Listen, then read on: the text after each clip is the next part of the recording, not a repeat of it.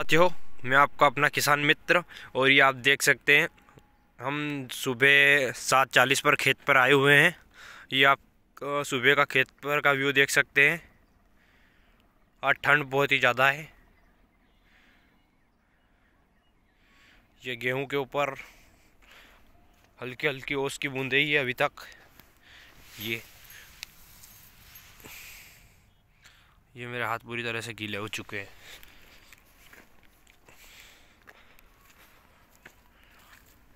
ये आप सुबह का नज़ारा देख सकते हैं।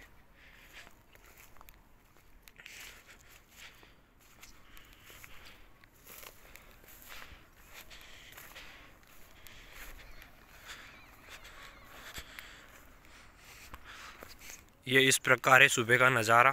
खेत की ओर सात चालीस समय।